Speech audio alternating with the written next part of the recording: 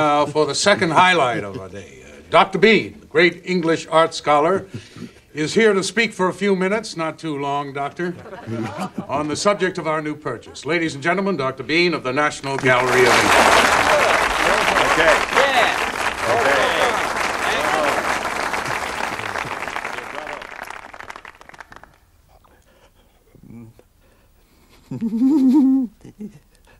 Um, uh, Well, hello.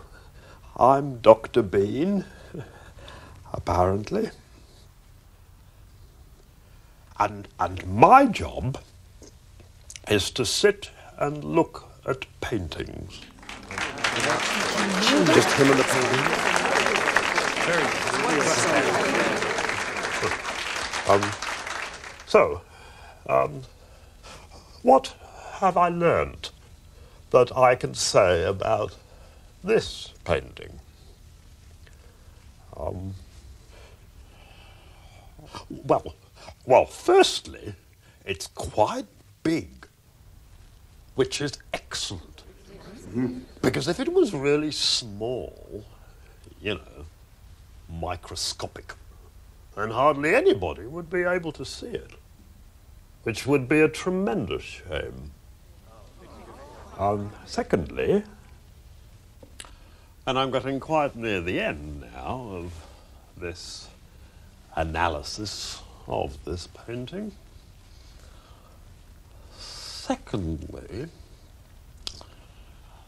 um, why was it worth this man here spending 50 million of your American dollars on this portrait?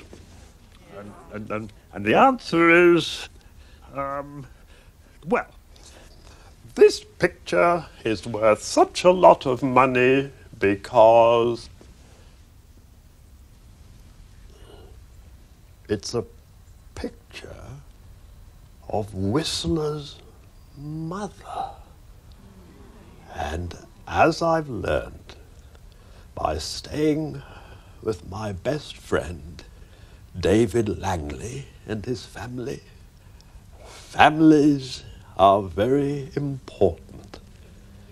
And even though Mr. Whistler was perfectly aware that his mother was a hideous old bat who looked like she had a cactus lodged up her backside, he stuck with her and even took the time to paint this amazing picture of her.